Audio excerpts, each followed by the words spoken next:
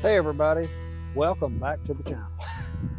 Today we're going to be talking about welding leads. Got my numero uno amigo Jose with me today. Hey everybody, good day, good day. It is a beautiful day here.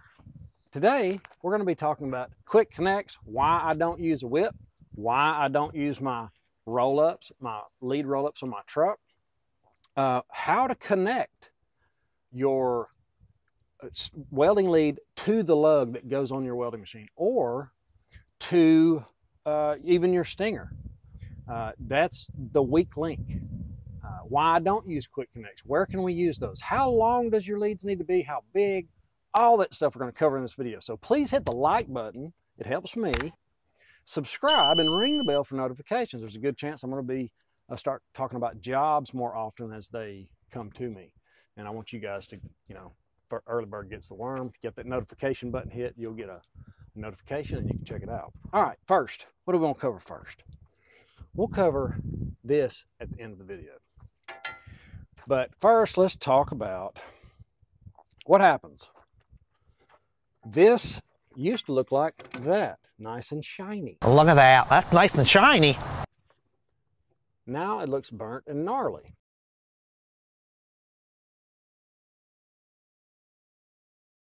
Well, this looked a whole lot worse before I started chopping it back. This starts happening, and it will. As you guys start welding, if you haven't already noticed, we used to have the ground, it would get so hot, you know, you couldn't touch it, it would boil water off of it. Very, very hot. Immediately stop and try to figure out what it is because it's just going to get worse. It's just going to keep getting your leads hot. And instead of cutting this much off, you're going to have to cut more off because you can cut it back to the good. Try to find the weak link. And if you're using, this is an old whip I used to use when I was working shutdowns, traveling the road. Keep this in your bucket. You know, you bucket welders. I was a bucket welder. Uh, I don't have that many bucket rings on my butt. That's how you know how long welders been welding on a bucket. You count the bucket rings. Anyway, cheesy joke, I know. You're going to lose a, uh, uh, it's not going to be solid using these, using these quick connects. It's just not the best. I get it. If you're working in a plant, you got to. But doing what we do in the field, we don't ever use them. Unless you need to. Unless you got to, for some reason, join, you know, 200 foot of lead together.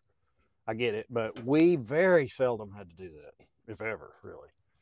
Um, now we're going to move on to the roll-ups. Why do my roll-ups look like that? Why, why am I not rolling them up on there? Well, I was told this by an older welder when I started. He said, hey, better not use those. Your leads are going to get hot. And they did. They got very hot, all rolled up in a, you know, tight, all nice like I used to keep them. So if you're going to use them, roll it out all, all on the ground before you start rolling out and doing a bunch of welding. Because when we're welding, we're, you know, 532, 70, 18s all day. It's a lot of heat and things get hot. But I turn, I, I just don't use them anymore. I drape them. If you want your leads to last a long time, uh, try to drape them, get them to where, you know, air can get through them, they stay cool, and make sure you've got a really good connection. Now on length, take a screenshot and you can adjust your welding lead to your machine. Every machine's different, different amps, different duty cycles, all that stuff. And Heavy. yeah, pick it up where they can see it. It is heavy. That's why I don't use number two or two aught. That spool of lead is 250 foot when you buy it. You can just buy a roll of it, 250 foot. Well, are you going to cut it in two and have 125 foot of each? Or, or are you going to use little sections? What What's the best way? What did I do? All right, so on a 300 Lincoln, I want to say once you get 150 foot, 200 foot, you're good with one aught. That's what this is, one aught. Past that, and really 200 foot, that's a lot of lead. That's a big circuit, and things start to get hot.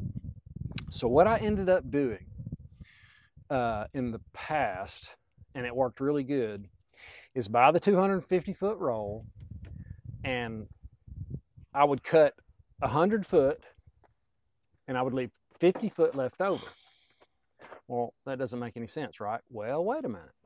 What you can do is you have your 100 foot leads uh, hanging up you know, where they're they're just ready to go. And you also have your uh, two 25s, or maybe your ground doesn't need to be as long. Maybe you want 30 and 20, you know, 20 on your ground, 30 on your whip, on your stinger. Um, but that way, when I set my rollout wheel up, and because we do a lot of work right here at the back of the truck, I mean, just to put it into perspective, 25 foot gets you about right here.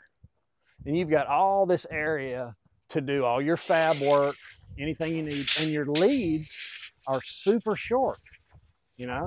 And if you need to go a little further, you just grab your other ones. Most of our work is done just right behind the truck fabbing. So that's one way to approach it. And if you do it that way, I think your leads will last a long time because I burn up some leads, man. I burn up uh, using long leads rolled up with a bunch of connections. Uh, been there, done that. I've melted the insulator out of the back of this rollout wheel. There's an insulator right here, this these roll-ups, and I melted that out, burning uh, jet rods on a bridge. We were slow at work, and they wanted to build a bridge on a lease road, and it just quarter inch jet rod is hard on leads and a machine really but the Vantage did really good. My leads didn't though. So uh, I hope I've helped you with what size lead. One aught is what I use. Two aught would be better.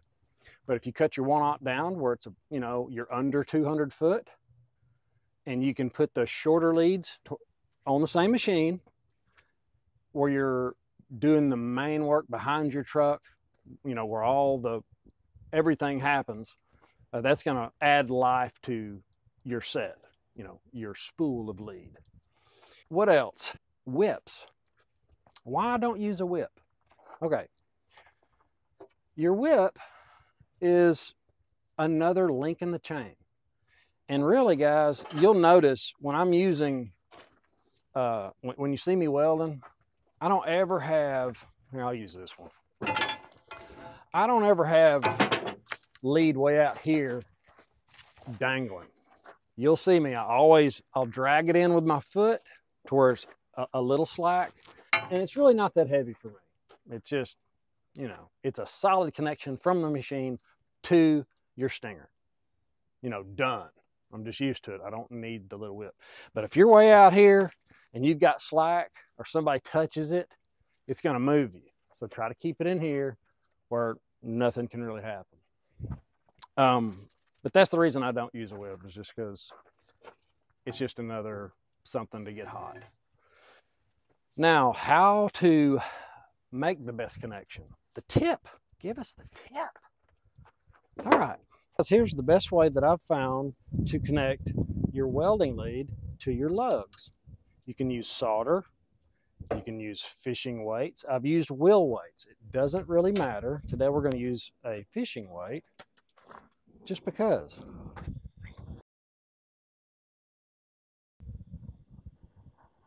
That baby in there. That ought to be plenty, maybe a little more. Just good and hot where it's liquefied in there. There we go. Now, before you burn your lead up, pour a little water on it.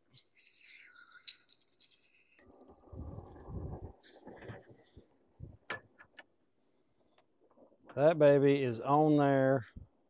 And if you want to get it back off, you can just heat it up and use it again. Have an awesome, awesome day later.